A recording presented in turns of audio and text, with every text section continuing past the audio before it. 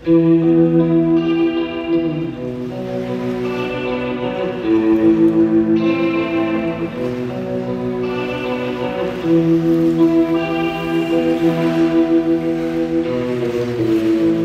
you really believe I'll just forgive and forget?